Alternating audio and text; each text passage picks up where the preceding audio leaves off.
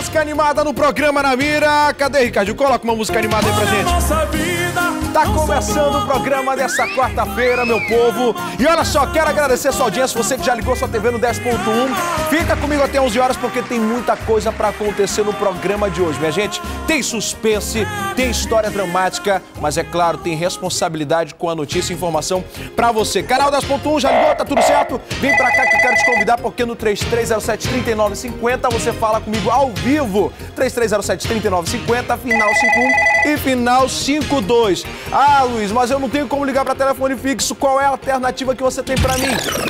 Vem comigo no 993-276649, que é o WhatsApp, para você fazer a sua denúncia, tá é certo? Claro. Se não tiver como, meu amigo, Faz que nem o pessoal que já está me assistindo pelo Facebook e comenta lá a sua denúncia. Só não pode ficar calado, tá certo, meu povo? Vamos começar o programa de hoje falando sobre um caso em que a Polícia Civil prendeu em flagrante um jovem por roubo e também agressão a um idoso de 64 anos. O camarada subtraiu o celular do senhor e agrediu a vítima fisicamente estava em posse de um teçado. Esse camarada aí é, é muito sem vergonha, né? Quem vai contar essa história é a Bárbara Mitoso ao vivo aqui na tela do Namira. Bom dia, Bárbara. Conta um pouco sobre essa história aí pra gente.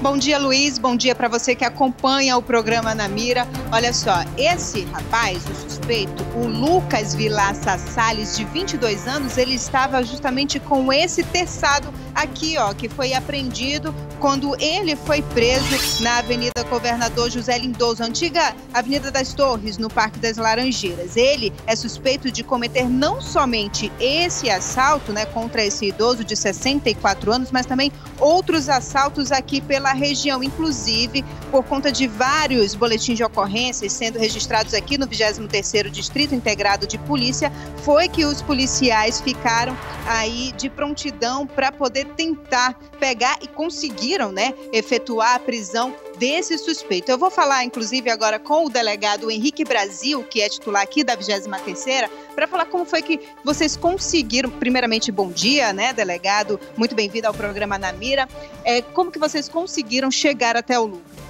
Bom dia a todos. Bom, o Lucas já vinha sendo investigado há aproximadamente três semanas, quando identificamos uma sequência de roubos sendo feitas com o mesmo modus operandi. Ou seja, uma pessoa é, com uma estatura é, média, né, moreno, utilizando boné, portando um terçado, uma faca e ameaçando pessoas é, na parada de ônibus. Então isso nos chamou a atenção, o que levou ao dia de ontem nós iniciarmos com a nossa equipe de investigação é um monitoramento na área. E logo em seguida, após o Lucas cometer esse crime, é, a nossa equipe estava pronta para iniciar uma perseguição e aí sim conseguiu prender em flagrante o Lucas pelo cometimento do crime de roubo. E agora, nesse caso específico, além de roubar o idoso, ele também agrediu, ou seja, ele responde por esses dois crimes nesse caso, né? Na verdade, o, o roubo, a violência que ele cometeu, ela é, ela é absorvida pelo roubo. Né? Então, ele vai estar tá respondendo pelo crime de roubo, o que aconteceu ontem, que vai ser a prisão em flagrante, além dos demais que nós já identificamos por meio de outros BOs aqui é, dentro do nosso sistema. E outra coisa, o Lucas, ele é, já cometeu outros crimes, ele já tinha passagem pela polícia por tráfico de drogas lá em Humaitá, interior do Amazonas. Foi isso que vocês constataram, né? Correto. Em análise ao sistema Projude do Poder Judiciário, que cuida dos processos do interior, nós conseguimos identificar é, que ele foi preso em 2018 em Humaitá pelo crime de tráfico de drogas. Ele estava em liberdade provisória, deveria estar assinando todos os meses do seu comparecimento mensal, o que ele não vinha fazendo desde fevereiro, né, motivo pelo qual ele se encontra é, foragido da justiça também por, por esse crime que ele cometeu em Humaitá. E agora ele vai ficar à disposição da justiça aqui na capital, né, vai responder pela, é, por essa prisão em flagrante, além dos inquéritos que nós iremos iniciar e a gente pede à população que, caso reconheça o Lucas como autor de algum outro crime, principalmente dos roubos aqui na área do Parque 10, que possa comparecer aqui ao 23º DIP para que a gente possa iniciar os procedimentos cabíveis e ele possa responder por todos os crimes efetivamente que ele cometeu. E aí, é, caso a pessoa olhe é, a imagem do Lucas, reconheça o que, que ele precisa, o que, que essa vítima precisa fazer? a vítima precisa comparecer ao 23º DIP, né, pessoalmente, ou alternativamente pode fazer contato através do número 9 9962 2428, é, o número com o qual é, fala diretamente comigo e aqui nós iniciaremos, nós combinaremos e iniciaremos esse procedimento contra o Lucas pelos crimes que ele cometeu. Obrigada pela participação no programa Na Mira. Olha só, Luiz. E o Lucas, ele agia da seguinte forma: ele utilizava esses bonés aqui, ora utilizava o azul, ora utilizava o rosa, para tentar disfarçar ali e ameaçar as pessoas com esse terçado, né, que a gente está mostrando para você agora. Então, as pessoas que estão aí em casa de repente é, foram assaltados nesse mesmos modos operantes, né, com um homem é, baixo, moreno, com um boné ou azul ou rosa, sendo ameaçado com um terçado, aí já sabe que pode ter sido Lucas. É só vir aqui até o 23º Distrito Integrado de Polícia. E olha só o que ele fazia também, Luiz. Ele andava com essa mochila aqui e com esses documentos, carteiras de trabalho, um currículo para disfarçar. Inclusive, quando a polícia chegou até o Lucas, ele disse que não, que não era, né? Ele não estava fazendo nada demais, né? Estaria ali procurando um emprego. Ou seja, ele arquitetava tudo e até justamente já pensava na hipótese de ser pego aí pela polícia e já falar que estava só procurando um emprego, né? Então, é, você vê que realmente era tudo de caso pensado. Volto com você, Luiz. Obrigado, Bárbara Mitoso. Quero agradecer ao delegado Henrique Brasil também pela participação aqui no programa. Palmas para a nossa polícia que consegue tirar mais um caboclo, né, folgado das ruas de Manaus. Agora, deixa eu dizer uma coisa: é capaz dele dizer que esse terçado aqui também, meu diretor, servia para ele pegar um emprego já capinar ali na casa de alguém, né? Justamente o camarada querendo enganar. Né? Cada sabe trabalhador. Sabe qual é a vontade que dá de pegar esse terçado e tacar de lateral na, na costa desse camarada, esse vagabundo, pra ele saber o que ele tá fazendo. Pelo amor de Deus, minha gente. Então, olha só, minha gente. Você conseguir reconhecer esse camarada aí, coloca em tela cheia aí, Gisele, pro povo.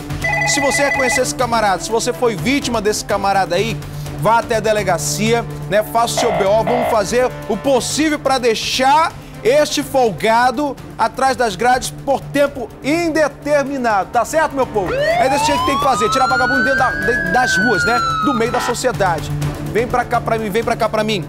Minha gente, 3307-3950, você fala ao vivo aqui conosco, fala, manda sua denúncia, diga o que está acontecendo no seu bairro, na sua casa, né? Ali na, na, sua comunidade, na sua cidade, ou se você quiser, denuncie pelo WhatsApp 99327-6649. Seu nome não será divulgado, tá certo? Vem pra cá comigo, deixa eu te contar. Delegado cria página para tentar encontrar pessoas desaparecidas aqui em Manaus. É claro, prestando serviço que a Polícia Civil tem, né, com um compromisso com a sociedade. Quem traz os detalhes dessa matéria é o homem do sapato azul, Vanderlei Modesto, na tela do Namira. Muito bem, amigo Luiz e caro telespectador que nos dá audiência no programa Namira. Nós estamos no primeiro distrito integrado de polícia, que fica aqui na Praça 14, na Rua Duque de Caxias. Eu estou à frente do delegado Mauro Duarte, delegado plantonista, que criou uma página na internet, Pessoas Desaparecidas em Manaus. Essa página já tem 50 mil seguidores. É um trabalho voluntário que ele faz juntamente com uns amigos para encontrar pessoas desaparecidas. Para você ter uma ideia, eu conversando com o delegado Mauro Duarte, ele me disse que, em média, desaparecem duas ou três pessoas por dia em Manaus. Isso daria uma média de 700 a 800 pessoas desaparecidas na nossa cidade. Vão para onde essas pessoas? Como é que desaparecem? São crianças, jovens, adultos, idosos? É o que a gente conversa com ele nesse momento. Delegado, seja bem-vindo ao programa Na Mira. E como foi que surgiu a ideia do senhor criar essa página, essa preocupação com desaparecidos em Manaus? Bom, eu percebendo que muitas pessoas desaparecem, fui pesquisar no Facebook para ver se tinha alguma página a esse respeito. Aí verifiquei que não, eu resolvi criar para ajudar fazer um, trabalho voluntário para ajudar essas pessoas, que o número de pessoas desaparecidas no Brasil, no Amazonas e Manaus é muito grande. Só para ter uma ideia, nos últimos 10 anos, desapareceram mais de 700 mil pessoas no Brasil. É claro que a imensa maioria retorna para os seus lares, mas tem uma, um certo número que preocupa, porque não retornam e passam meses e anos desaparecidos. Quem é que desaparece mais, delegado? É criança, jovem, adulto, adolescente? Quem é que desaparece? Olha, isso é variável. É, idosos, adultos, crianças, não tem assim uma estatística certa assim de desaparecimento. O senhor tem informação para onde é que vão essas pessoas? O que, é que acontece com essas pessoas? Bom, são vários motivos. Tem desaparecimento é, por vontade própria, que a pessoa quer desaparecer, quer dar um tempo da família. Tem uns por problemas mentais também, que não tem discernimento, é, comumente desaparece. É, pessoas também com lapso de memória, que se perdem da família. E, mas, por outro lado, tem, são vítimas de crimes crianças, por exemplo, adolescentes vítimas de rápido sequestro para abuso sexual ou para outra coisa. Né? Então são vários motivos. E você pode também, a partir de agora, acessar o Facebook, acessar é, as redes sociais do delegado Mauro Duarte e também do programa Na Mira, informando se a pessoa está desaparecida, se desapareceu ou se já foi encontrada. Que nós vamos fazer é, esse intercâmbio, essa ligação, esse elo entre o delegado Mauro Duarte e o programa Na Mira, para que você possa encontrar o seu ente querido. Pode ser assim? Com certeza. Acho que é uma parceria para quanto maior a divulgação da imagem da pessoa desaparecida nas redes sociais, Facebook, Instagram, Telegram, WhatsApp, melhor. Sobretudo nas emissoras porque o alcance vai ser muito maior e a chance delas, delas serem encontradas é muito maior também. Obrigado, delegado Mauro Duarte. As imagens são de chefe, reportagem de Vanderlei Modesto, homem do sapato azul. Seu PEI, tomara que você encontre o seu parente, sua filha, seu filho, o seu ente querido. Eu sou Vanderlei Modesto, homem do sapato azul para o programa Na Mira. Obrigado aí, Vanderlei Modesto. Obrigado aí também o delegado Mauro Duarte. Nessa parceria que a gente quer fazer justamente porque tem pessoas que, claro, muitas das vezes não conseguem voltar para o seu lar, né? Então é muito importante esse trabalho, a gente tem que divulgar sim. E é claro, é uma responsabilidade que nós temos com as pessoas que estão do outro lado da tela, né? Com o nosso telespectador. Muitas vezes a gente não sabe o que está se passando na casa do telespectador, vai ver ele tem um familiar que está perdido e precisa de ajuda e não tem como, tá certo? Nosso compromisso com você que está aí do outro lado, vem para cá comigo. E olha só, meu povo, tá me vendo pelo Facebook, um grande abraço para você, todo mundo que tá me assistindo, compartilha, diz que o programa de maior audiência neste horário já está no ar. Vamos para cá, deixa eu dizer o seguinte. O mototaxista foi vítima de uma emboscada no final da tarde de ontem na zona leste de Manaus. A vítima, que foi morta a tiros, também foi atraída ao local de execução por um rapaz se passando por passageiro. Minha gente, quem foi lá foi o Caçador de Almas que traz a notícia da forma como ela é aqui na tela do Namira. No endereço do crime, o sangue apontava o local da execução. Howard Lincoln Castro dos Santos, de 28 anos, foi morto enquanto trabalhava na região leste da capital. Segundo testemunhas, a vítima trabalhava como um mototaxista. Ele foi atraído por um passageiro até esta rua aqui, que é a Rua da Glória, no Valparaíso. Ao chegar exatamente nesse ponto, o passageiro disparou pelo menos três tiros contra o homem, que não resistiu aos ferimentos. Em seguida, o criminoso ainda levou alguns pertences da vítima e fugiu a pé aqui pela comunidade. De acordo com informações repassadas pela família à polícia, o irmão de Howard é presidiário e envolvido com o tráfico de drogas. E por causa dele, a vítima estaria sendo ameaçada. No local onde o crime ocorreu, moradores estão assustados, ainda mais porque a rua é bastante escura durante a noite. O problema daqui principalmente é a falta de iluminação. É, a luz, os postos, esses postos aqui não acendem. É todo o tempo assim, no escuro. É Viatura então? Hã? Viatura da polícia? Nada, polícia aqui não passa não. Difícil a situação. Tá, tá difícil para nós. E nós, o nosso medo dos moradores aqui é isso, nós dormimos assustados. Aí o camarada vem me dizer o seguinte. Ah, Luiz, mas não é problema meu, é, é o meu filho que é, é envolvido com o tráfico. Ah, Luiz, mas não é problema meu, é o meu amigo que é envolvido com o tráfico. Ah, Luiz, mas não é problema meu, é meu marido que é envolvido com o tráfico. Vou dizer uma coisa para você. Por que, que esse camarada morreu aí? Por que, que esse camarada morreu? Enche a tela aí, Gisele. Deixa o povo ver em casa. Por que, que você acha que esse camarada morreu aí? Porque o irmão dele era envolvido, como diz na, na linguagem do, do traficante, nos corre. Né? Era dos corre.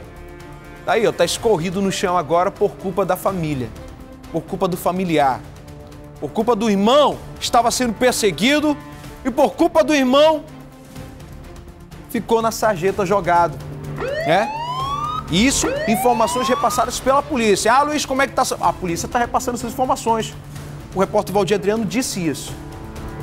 Então você que está achando que um familiar seu que é envolvido com tráfico de drogas não é problema seu, que seu filho que está envolvido com tráfico de drogas não é problema seu, esse é o alerta que eu deixo. Esse é o alerta que eu deixo. Tá certo? Não tem essa, meu amigo. Você tá andando com o cara, você tá na companhia, mais cedo ou mais tarde os camaradas vêm atrás de você. Mais cedo ou mais tarde os camaradas vêm atrás de você. E acontece isso daí. O camarada tava trabalhando, pegou um passageiro, levou ele pro local e deu um tchau Manaus pra ele. É desse jeito, meu povo. Vem pra cá comigo. Vem pra cá, vem pra cá. Vou aqui com, com o Rui Mendes, com o Rui Mendes. Acidente de trânsito, minha gente. Duas mortes por imprudência. A violência, infelizmente, não escolhe local, né? O carro pode ser uma arma. É, minha gente. Trânsito também é crime. Você pode evitar um acidente, não evita, o que acontece? Tem gente que infelizmente não sobrevive a uma colisão de carro. Quem conta essa história aí é a Mariana Rocha, na tela do Namiro. Exatamente, esse acidente trágico aconteceu na madrugada. Segundo testemunhas, um rapaz identificado como Robert Bryan, de apenas 23 anos de idade, pilotava uma motocicleta em alta velocidade quando colidiu com um veículo modelo Siena, na, no momento em que fazia o retorno na entrada do conjunto Castanheiras 2, na zona leste de Manaus. Ele ainda chegou a ser levado pela polícia até o hospital e pronto-socorro João Lúcio, também na Zona Leste, mas infelizmente não resistiu. Um outro rapaz que estava com o Robert Braia, identificado como Matheus Colares, de apenas 21 anos de idade, morreu no local após a colisão. Então tá aí mais um acidente de trânsito, infelizmente trágico, aqui na nossa cidade, envolvendo, segundo testemunhas, imprudência e alta velocidade. Eu volto com você no estúdio. Obrigado, Mariana Rocha. A gente sabe que em Manaus tem muita gente prudente. Né? Eu acho que Manaus é a capital onde existe mais motoristas desrespeitosos. Camarada pega, tira a carteira é que nem doido, né? Primeiro dia é que nem doido, parece que nunca viu um carro, né? Hoje em dia, meu amigo, se você perguntar, vai, vai fazer uma pesquisa para você perguntar quantos motoristas usam a seta para ultrapassar. Você vai ver né, o, o, o quão descuidado é o motorista manauara, né? Claro que não, são todos. Eu, por exemplo, não sou assim. Tu é baixinho assim? É? Daniel Barbosa também não. O Daniel Barbosa anda de bicicleta, né? Sacanagem, meu povo. Vem pra cá falar de coisa séria.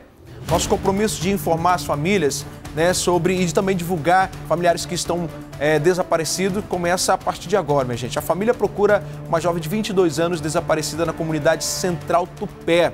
O nome dela, Laisa Cevalho, de Assunção, de 22 anos. Ela está des desaparecida desde o dia 24 de junho. Ela foi vista pela última vez saindo de sua casa, localizada na comunidade central do Tupé. Quem souber de sua localização pode ligar para o 993 14 9258. Você vai falar com a dona Nilza. Ou você pode falar com a dona Neide também, que é a familiar né, da Laisa, no 992 75 7505. Então, minha gente, ajude, vamos ajudar a encontrar a Laisa, né, que infelizmente está desaparecida desde junho, mas a família espera e o programa Na Mira também espera que ela possa ser encontrada, tá certo? Vem pra cá comigo, olha só. Deixa eu falar de coisa boa para você agora. Eu não acredito que você ainda não enviou seu vídeo em homenagem à nossa querida Manaus que faz 350 anos. Quando, baixinho? Amanhã. Amanhã? Aí, baixinho, tá, tá podendo, tá podendo do assunto, tá certo? Minha gente, você manda pra cá, mandando, oh, manda pra cá mandando, olha, manda pra cá um vídeo dizendo seu nome, seu bairro e a Manaus que você espera para o seu futuro é só até amanhã, minha gente. Está acabando a campanha. Manda para cá para você aparecer na tela da TV em Tempo. Olha só o que o povo está fazendo.